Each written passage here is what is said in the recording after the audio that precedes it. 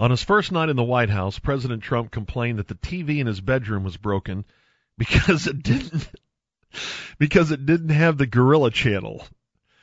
Trump seemed to be under the impression that a TV channel existed that screened nothing but gorilla based content 24 hours a day.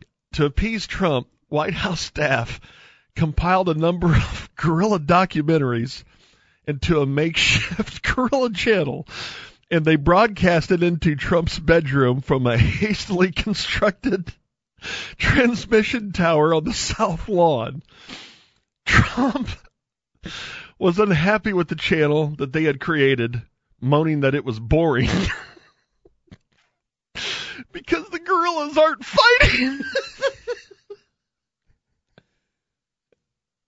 so they so then they they went in and edited all of the parts where they weren't fighting each other and made it a lot more action packed.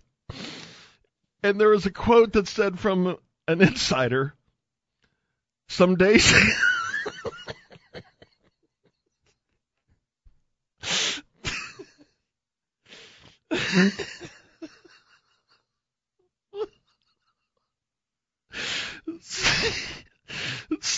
Some days watch the Gorilla, the Gorilla Channel for 17 straight hours.